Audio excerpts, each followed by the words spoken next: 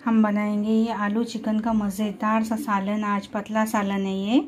बहुत ही टेस्टी और लजीज लगता है। रेसिपी को पूरा देखिए स्किप ना करें।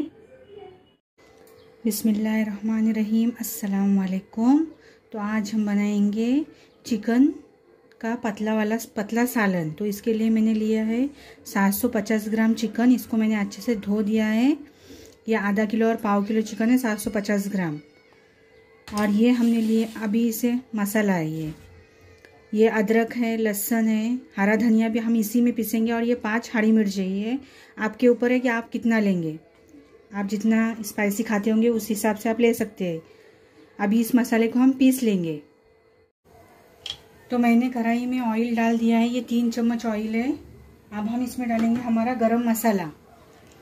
इसमें है शाहजीरा, एक बड़ी इलायची, एक फूल, चकड़ी फूल, सात से आठ काली मिर्च, दो छोटी इलायची और एक छोटा दालचीनी का टुकड़ा। अब हम इसमें डालेंगे। इसमें डालते हैं ज़रा चटकने देंगे अच्छे से। और अब हम डालेंगे इसमें तीन तेज पत्ते ये छोटे ये चार मीडियम साइज़ की प्याज मैंने ली हूँ, चार है प्याज। तो अब हम इसमें डालेंगे हमारे प्याज। अच्छे से इन्हें फ्राई करना है।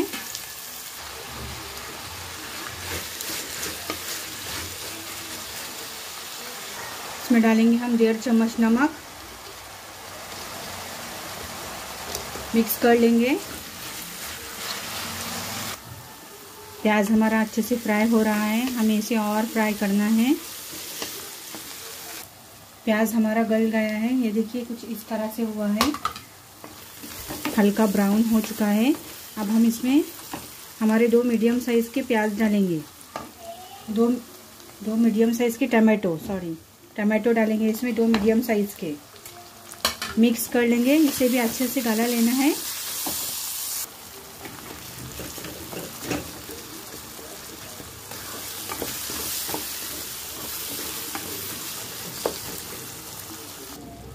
प्याज और टमाटर हमारे अच्छे से गल चुका है। अब हम इसमें मसाले ऐड करेंगे। मसाले में लिया है हमने एक चम्मच धनिया धनिया पाउडर, एक चम्मच लाल मिर्च पाउडर क्वार्टर टीस्पून हल्दी पाउडर क्वार्टर टीस्पून काली मिर्च पाउडर और क्वार्टर टीस्पून जीरा पाउडर। मिक्स कर लेंगे इसे डालकर अच्छे से। इसे हमने अच्छे से मिक्स कर लिया है। अब हम इसमें डालेंगे हमारा पिसा हुआ सारा के सारा मसाला। जो हमने अदरक, लहसन, हरी मिर्ची, हरा धनिया पीसा था ना, वो इसमें ऐड करके इसे अच्छे से मिक्स कर लेंगे। इसे अच्छे से मिक्स कर लेंगे। मसाला पहले हमें भून लेंगे।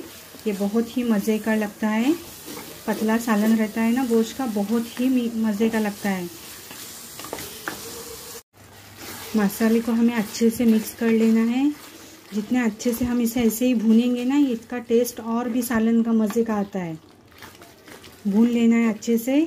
अगर नीचे लगेगा तो हल्का हल्का पानी डालकर इसे भूनना है। मसाले ने हमारे ऑयल छोड़ दिया है। अब हम इसमें हमारा चिकन ऐड करेंगे। बिस्मिल्लाह। चिकन को हमने धो धा के रखा था। इसमें ऐड करेंगे। हम इसमें आलू भी डालेंगे। इसे अच्छे से मिक्स कर लेना है। इसमें डालेंगे हम ये आलू, दो आलू के मैंने इस इस तरह से पीसेस किए हैं। इसे भी हम इसमें डाल देंगे। हमने चिकन को मसाले में ऐड कर लिया। अब हम इसमें पानी ऐड नहीं करेंगे अभी। अभी हम इसे ढाक के रखेंगे। पाँच मिनट के लिए ये चिकन पानी बहुत छोड़ेगा। इसके लिए पहले से ऐसे ही पकने देंगे अंदर के अंदर। फिर पानी ऐड करेंगे। ये देखिए मसाले ने हमारे कितने अच्छे से पानी चिकन ने छोड़ दिया है। अब इस स्टेप पे हम इस पे पानी, इसमें पानी डालेंगे, क्योंकि अब हम इसमें डालेंगे दो ग्लास पानी। क्योंकि हमें पतला चाहिए। आज हमने पतले व पतला सालन बनाए इसके लिए हम इसमें दो ग्लास पानी ऐड करेंगे। हमने इसमें दो ग्लास पानी ऐड कर दिया है। देखिए, पानी ऐड करने के बाद ये इस तरह से हुआ है। अब हम इसे पकने देंगे दस मिनट, क्योंकि चिकन जल्दी गल जाता है। इसके लिए सिर्फ़ दस ही मिनट पकाएँगे हम इसे।